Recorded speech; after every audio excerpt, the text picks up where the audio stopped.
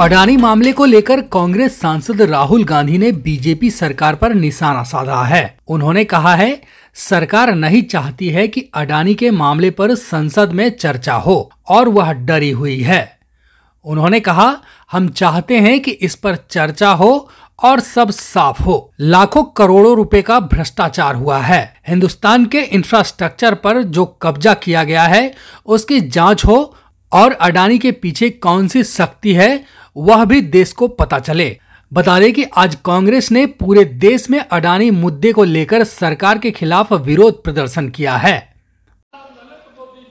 So the relationship begins many years ago when Narendra Modi ji was the chief minister of Gujarat and when most of India business was asking questions of the Prime Minister, was against the Prime Minister, one man stood shoulder to shoulder with the Prime Minister. He didn't back down. That's commendable. It's not a joke. He's a, he, he, he was loyal to the Prime Minister. And what did he do?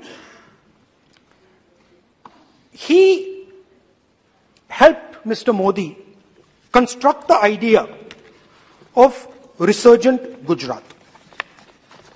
Right? The idea that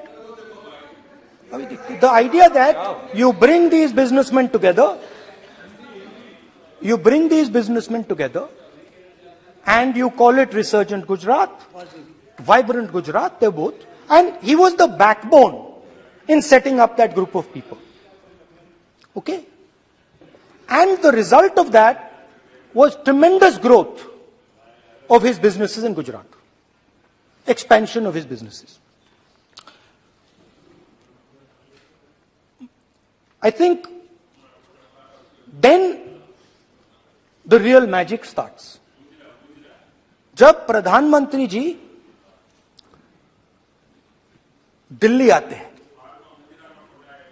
और 2014 में असली जादू शुरू होता है मैंने कहा कि 2014 में वो 609 नंबर पे थे। कुछ ही सालों में वो दूसरे नंबर पे पहुँच गए।